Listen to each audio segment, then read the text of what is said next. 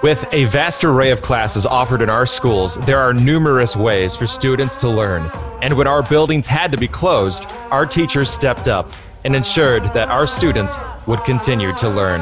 Hello and welcome to another episode of One Troy at Home, a limited podcast series featuring interviews with teachers and where we learn how education can take various forms. I'm your host, creative content producer Thomas Butcher. I've also got my colleague Adam Burns here to host the episode with me. Adam, welcome back. Thanks, Thomas. This is going to be fun. It's like our maiden voyage uh, doing this together. Uh, our guest today is a chemistry teacher at Troy High School. Welcome aboard, Katie Robles. Hi, Thomas. Hey there. So, Katie, uh, thanks for joining us. And uh, how's it going these days? Are you managing well? Um, I'm doing okay. I have three kids five, six, and 10. So they're in school. So that's kind of tricky teaching kindergarten, first grade, and fourth grade on top of teaching high school chemistry and organic chemistry. Wow, that, my kids are similar age, and I'm I'm very impressed that you're still trying to teach them. I feel like I gave this past week. I just gave up. It, it we hit a wall.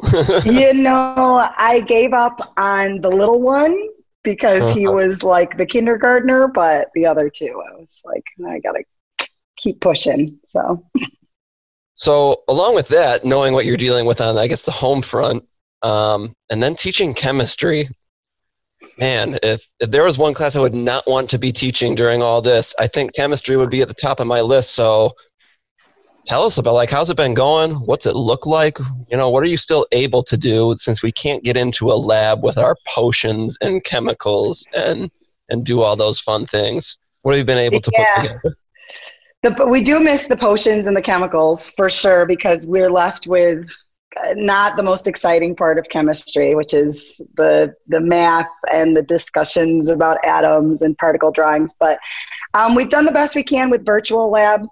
We've also had some chemistry teachers go in uh, to their classrooms and run the labs for the kids so the kids can watch them do the labs um, and they're like familiar faces rather than just you know random youtube videos. So that's that's worked pretty well. Um, and then we just we give the kids data to manipulate at home. But yeah for sure it's not the same as it is in the classroom. Is there anything that you're pleasantly surprised about all of this as you moved forward? Like, were you kind of down about it, but then you're like, oh, this isn't so bad? Is there anything like that going on? Uh, for sure. I would say so. I'm a tech chair at Troy High, and um, getting people, you know, going with Schoology has been difficult over the past few years. And now, when they got thrown into it, I think that people really started to flourish and do some things that were unexpected in their classrooms and really use different types of technology that I didn't expect. So that has been really good.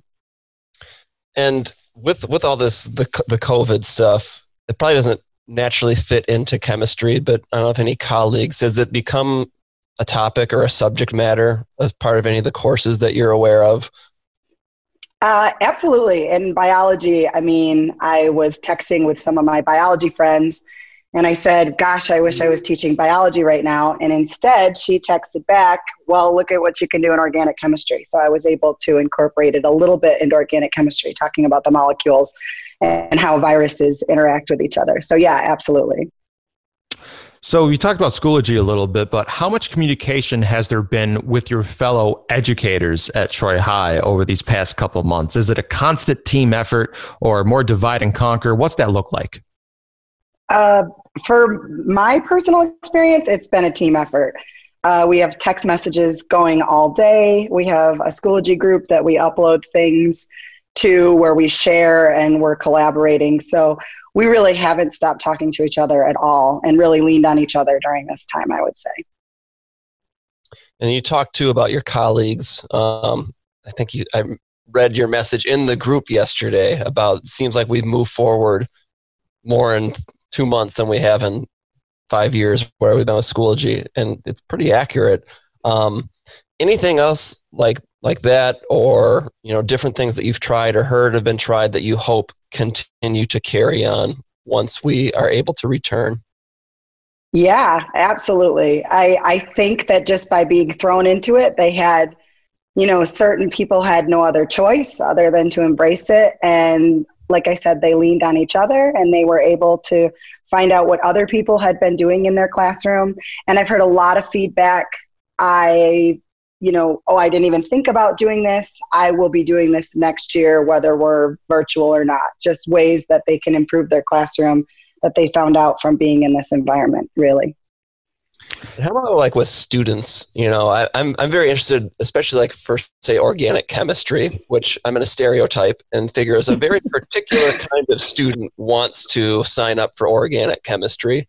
Um, what's the feedback from them been like since we've had to shift into this uh, distance learning?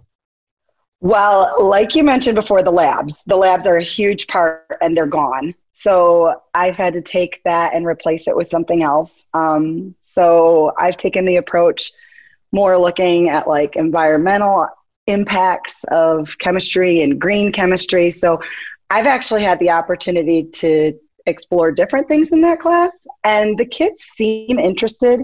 Um, you know, I've had them do small projects, and on Flipgrid, they have to do discussions. So um, I think that they have discovered that you know maybe they're interested in some other things other than just studying organic chemistry and getting ready to be doctors so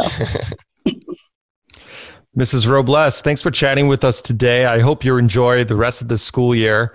And uh, before we started the episode, you had mentioned that you had your kids off in a different area of the house so that they wouldn't be distracting. So I hope you're looking forward to the upcoming summer break where you'll get to be outside more. Yes, absolutely. It's raining today, which is not good with three little boys stuck in a house. So, listeners, the before- rainy day ruin everything. yeah. Sorry, yeah, the, rain, the, rainy, the rainy just it's it's awful. All bets are off. Yes, for sure. Listeners, before we go, don't forget you can subscribe to TSD World Class Podcasts on your favorite podcast platform, where you'll find all kinds of content and resources. You can also connect on YouTube, Facebook, Twitter, and Instagram. Thank you for listening, and be well.